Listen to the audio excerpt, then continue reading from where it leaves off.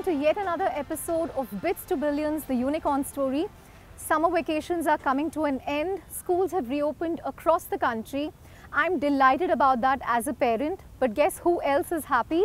Our guest on the show today, Sumeet Mehta, the founder and CEO of uh, LEAD, one of India's edtech unicorns. And what LEAD essentially does is it provides hardware solutions, software solutions to make uh, the education experience, learning outcome better in schools. Sumeet, are you happy about schools reopening?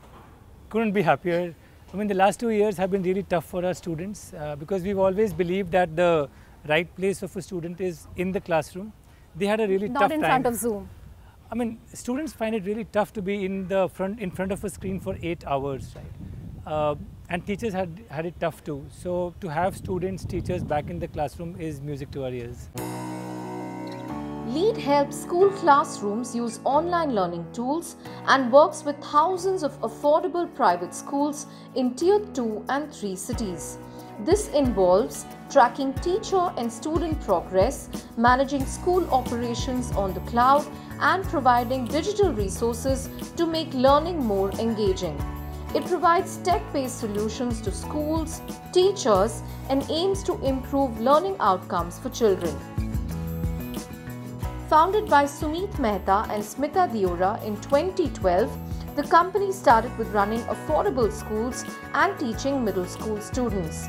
It built its technology solution in 2017, which is now also seeing traction led by the COVID 19 pandemic, which has turbocharged the movement to online learning.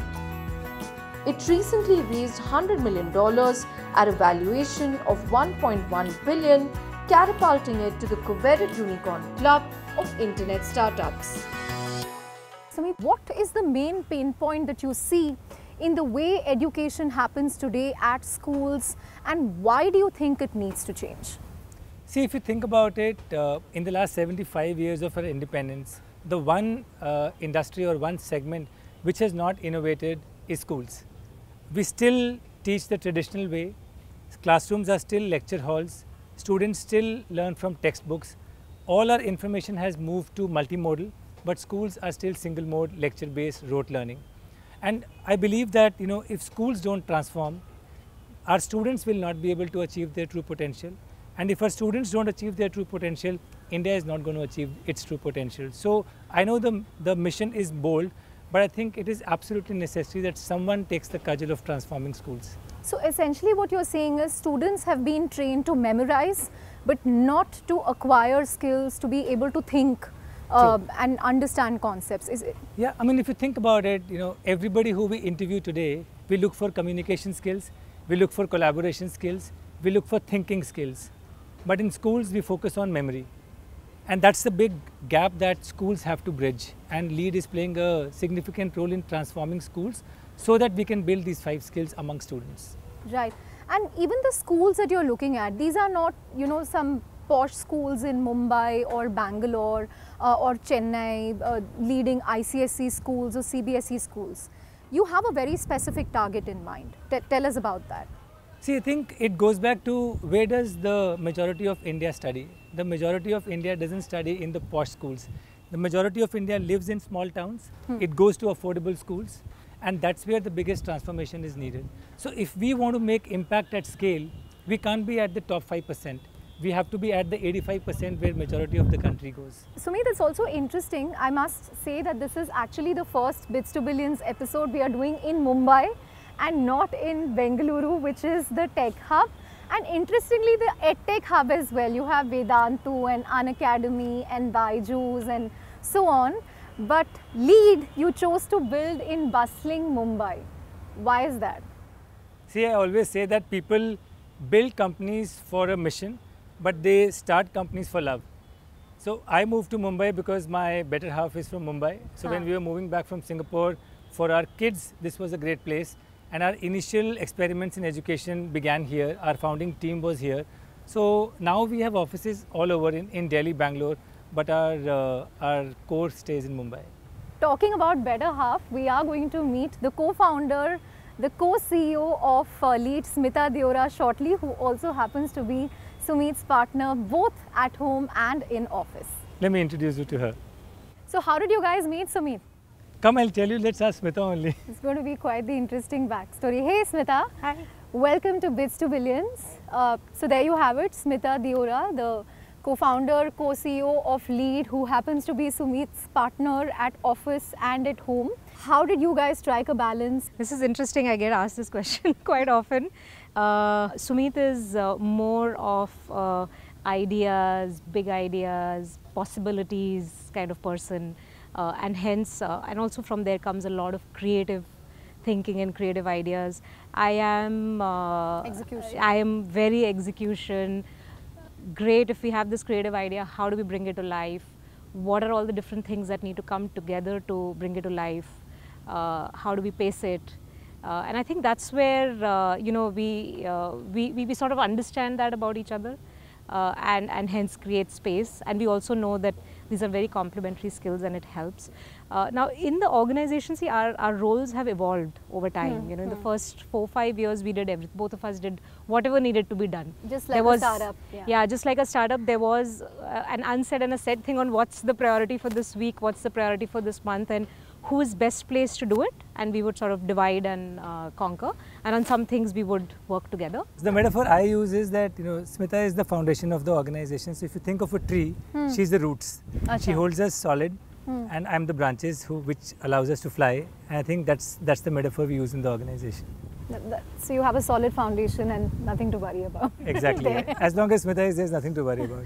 But you were going to tell us how you met. Uh, well, so uh, The both real of us, story or your story? There are two versions. there are always two versions. Sumeet always likes to make stories. So, yes, let's hear this. No, no, no. So both of us were in P&G. Uh, you know, she was the rich girl with the car. I was the poor guy is living in the. Chamri and uh, driving to office in local trains. So it began as uh, me asking for a lift in her car.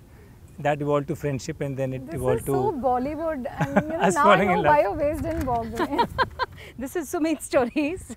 so what's the But real yeah. story? No, I think yeah, my version of the story, of course, is you know we uh, we, we we met at P&G through a common friend. Okay, so that part is true. And the part that we were driving together the, is the very rich girl, true. poor boy is also true. Of course.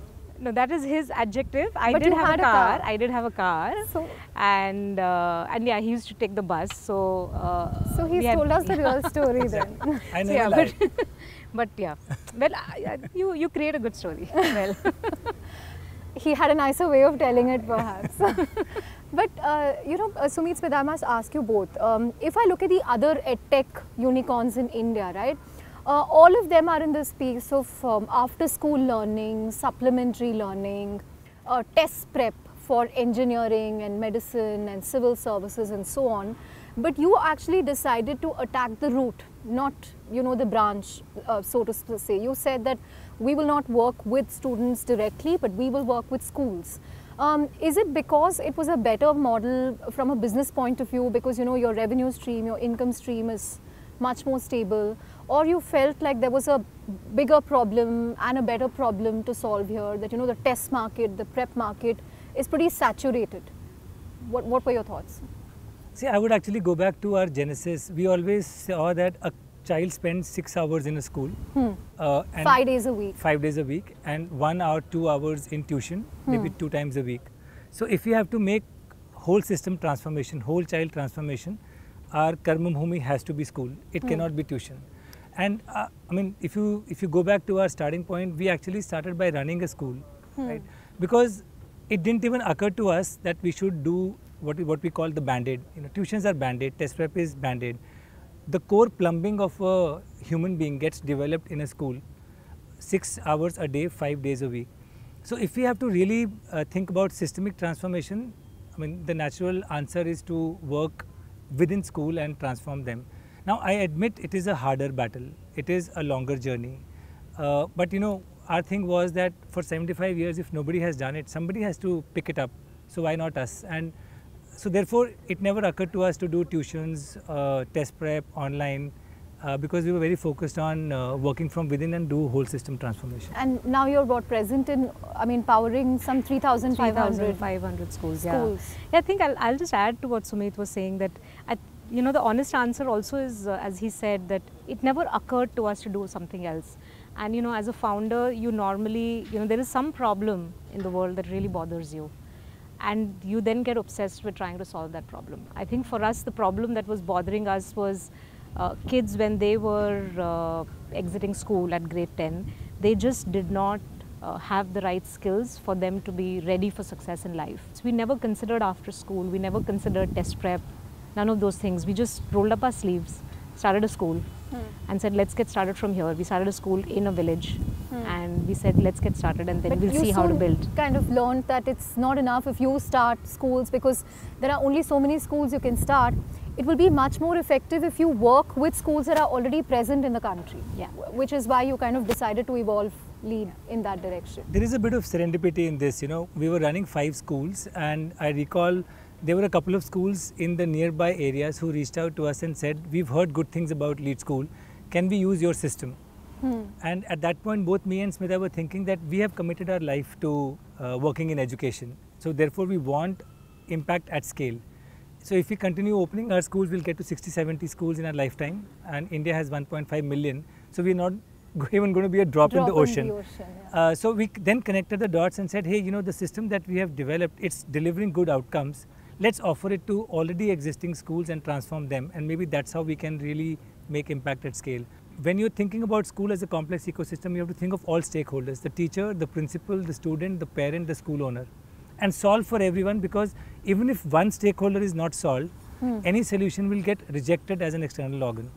So we i think the first time ever somebody has brought system thinking to schools and once you do that then the natural corollary is it has to be an integrated system where the actions that you want uh, in a great school automatically come out of that system. So whether it is, you know, how does a great school run? You know, there is spiral learning. So after assessment, you do remedials. How do great classrooms run? There, there's multimodal learning. There is audiovisual, there is kinesthetic, there is hmm. lecture. Hmm. How do parents get engaged? They need to have the information. How do students learn? It has to be differentiated. Now, how do you codify these practices into a system, hmm. enable it through technology, and make it like a one-stop shop, shop through an integrated system. So that's what we are implementing and that's why it's hard to compare with anything that has happened before because all of them were piecemeal solution based on linear, linear thinking. I think we just connect back from there that hey, LEAD will basically make every teacher an excellent teacher. You know, she'll be able to teach excellently just like some of the best teachers in the world do uh, through our system uh, you know, the outcomes that will be achieved with the students is they will become fluent with English language. Hmm. Uh, they will be able to speak confidently and, you know, uh, sort of present in front of uh, folks. Then they start getting intrigued and interested about how will that happen? Yeah. And then that's when we start unpacking, uh, you know, parts Got of it. our system in terms of how will it happen. Uh, you know, so I think it is, it's about working backwards from what are your customers' aspirations, what is it that they want for their child, and really connecting the dot backwards. Uh, versus going and saying, hey, you know, rote learning is not good, do this. I think at, at some uh, level, they, everyone knows rote learning is not good, but no one likes to talk about it. Yeah. You know, so every school owner knows that, but they don't want to talk about it. They don't want to admit that rote learning is happening in my classroom. Right. You know. Sumeet, I remember when you guys became a unicorn uh, last year, you said Lakshmi has followed Saraswati. But now if I look at the edtech space, Lakshmi is staying very far away and you know there are layoffs, there is restructuring, there is shutdown. What is it like to be an edtech in the current environment and are these tough decisions that a lead also will have to take at some point? I think uh, what is happening in the larger edtech space is not surprising. Uh, there was an excess during COVID and there was an artificial blip which happened during COVID because schools were locked down parents and children had time at hand and therefore they were resorting to online learning.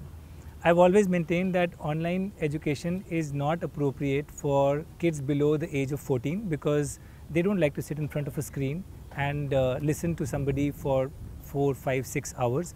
So the right place of a child is in the classroom. And I also want to demarcate uh, the larger edtech from school edtech. I think LEAD belongs to school edtech. We work with schools. So in fact, our uh, trajectory is inverse to what is happening in consumer edtech. So when COVID was there, a lot of consumer edtech companies were growing. We, if you think about it, we grew despite COVID, not because of COVID. Now, once COVID is gone, uh, we're actually back to our strength, which is in school, in classroom learning. And for the last three months, we've had our best ever months. Uh, so I've always said that, you know, when consumer edtech zigs, school edtech zags. Uh, so what you're seeing in consumer edtech, I, I don't think is relevant for, uh, for school edtech. Now, uh, once the the bubble kind of settles into what is a normalized acceptance of online education, that's when you'll see some consolidation. Uh, but school edtech, I think, as long as schools are open, is going to be on an upward trajectory.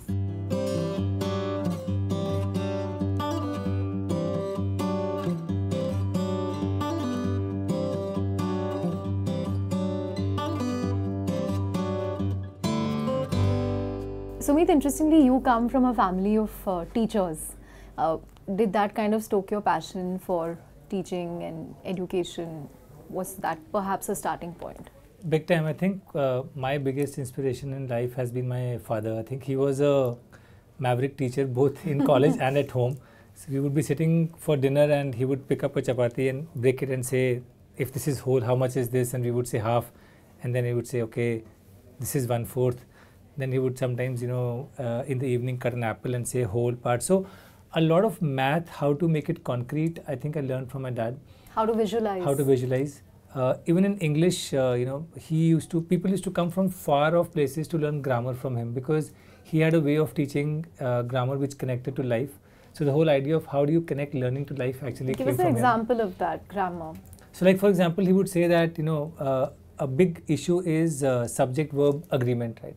Uh, on so he would take one word like I eat, you eat, he eats, Ram eats. So he will continue building in, and people would start to see how the verb is changing and the subject is changing. But he had a knack of you know going from known to unknown. So all these principles that you know now we have built into the lead curriculum, I have heard it growing up. How to go from known to unknown, how to connect to life, how to visualize. Uh, so yeah, I think uh, education being a dinner table conversation while growing up definitely I think has he- helped in some way. Yeah, talking about curriculum, we have some of what you use at your school. Frac- uh, fractions, and these are what to visualize this is numbers. a yeah this is a place value kit. Uh, so as uh, as kids grow up, I think the concrete understanding of what a numeral means is very important because Hmm. very often we start with writing 32 and 21, and Hmm. a child doesn't know what 32 and 21 means. So so should I tell you how 31? Why not? Okay. so simple. I think uh, as I place these counters, these are Hmm. ones. As I place, if you count, One, two, three, four, five, six, seven, eight, nine, ten. So these are 10 ones, right? Hmm. Now, a child should understand that when you add up 10 ones, it basically is 110. Correct. So I visually show him that the, you just counted 10 ones. This is equal, right? Is Yeah. this equal? yeah, So can I call it 110? yeah. Now, if it is 110, then, you know, 210 is 20, 20, 30, 40, 50, 60. and so on. So you then they understand that 10 tens is 100 and actually this if you look is 100. So they have a concrete understanding of ones Hmm. becoming tens, becoming hundreds. Now when we are forming numbers, so let's take 32. Can you form 32 out of these tens and so 30 and Two. 2. And then can you form 21 20 and 1. and 1. So now you have ones and tens. Hmm. If you have to add, just add the ones. 53. Um, 3 and 50. You're faster than a child. but if you add the ones, it will become three ones, and then you add the tens, it is five tens. Yeah. So 1, 2, 3, 4, 5, 53. Now, once a child has a concrete understanding of this, then when they go to abstract, they can actually use the numerals and learn. Sumeet, you know what you're trying to do? This is something that international schools do, as you said, and you're trying to bring it to affordable private schools where the fee structure is much lower. Do you think they will be able to afford it at the price points you're offering? Uh, the price point at which we are able to offer this kind of education is is amazing, right? Uh, I mean, for like 10% of a school's fee, which is like 3,000 bucks a year, you can actually get international level education in an affordable school. And you know, because we are a tech first company, we are different from traditional publishers. And that's why, if you look at uh, our curriculum, whether it is the math curriculum or science curriculum or English language curriculum, it's applicable to all boards till grade 5. After grade 5, when there are board level variations, we can easily create it because from the digital modular background, we can create uh, versions for the board. So today, we are actually able to serve almost all the boards in the country Hmm. uh, and and with our uh, curriculum which is the combination of lesson plans and books Right. Um, you know, we were talking about how schools have reopened and how it's music to your ears. But one big concern that many people cited was, you know, the learning gap that children have. Um, only some children have actually had any form of learning in the last year. Even, even virtual learning hasn't been great. Uh, for the last two years, I've been crying at the top of my voice that WhatsApp forwards and you know sending PDFs is not equal to education. Uh, so whatever is coming out in the National Assessment Survey or even ASER is actually not a surprise because uh, we literally left the kids to their own devices. You know, we basically thought sending PDF documents or YouTube links uh, will give them learning. It doesn't happen that way. Uh, so now, if you understand the vertical progression in education, uh, you can easily create a bridge course which takes care of all the prerequisites that are required for a grade. So we created a bridge course for 12 days uh, students which who start in our bridge course start at about 45 to 48 percent. After the bridge course, in only 12 days, mm. they move to 62 percent. Mm. So we are able to cover a significant part of the learning gap in the first 12 days because it's designed to take care of the prerequisites. Right. Uh, so I, I think if people make well designed interventions, the learning gaps can be closed in an accelerated manner. But if you don't, then they will continue and actually compound. Right academic society have also maintained that you know schools also serve other purposes. I mean it's almost like childcare True. in a sense right? Actually when covid hit that's the first realization people had that so far everybody used to think that school is about education. The moment schools got locked down and that education moved online parents took a back foot and that's when educators realized that schools were actually doing three things. They were providing education, they were providing childcare, like a creche facility, and daycare. And the third thing was, you know, this social acclimatization is a very important role that school plays. Yeah. And that is why the moment COVID is behind us, parents are actually flocking and uh, kind of uh, climbing over each other to send the kids back home because they also want their eight hours of, uh, you know, uninterrupted time, you know, people who are working or people who are at home our, our households are not designed to take care of kids 24 by 7. So schools play a very important social role.